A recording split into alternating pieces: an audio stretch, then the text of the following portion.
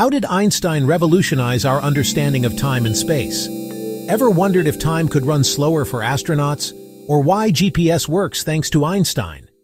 Let's make sense of the theory of relativity. Imagine you're sitting on a train. Your friend's standing on the platform. You toss a ball straight up. For you, it goes up and down. To your friend, the ball moves in a curve because the train is moving. That's relativity how things look different depending on your viewpoint. Einstein took this idea and went cosmic. He said space and time aren't fixed. They're like a stretchy fabric. Massive things like planets bend this fabric. That's why the Earth orbits the Sun. It's rolling around a dimple in space-time. Kind of like a marble spinning around a trampoline. Here's the wildest part.